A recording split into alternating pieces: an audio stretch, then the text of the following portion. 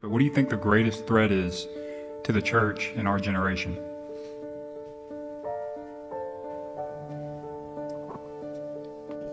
It's pastors. Honestly, the pastors. Anywhere, God has given three offices, I believe, to the church evangelist, pastor, and teacher. Wherever you see a weak church, you see these weak men. Either they're non existent, they're unbiblical, or they're unconverted.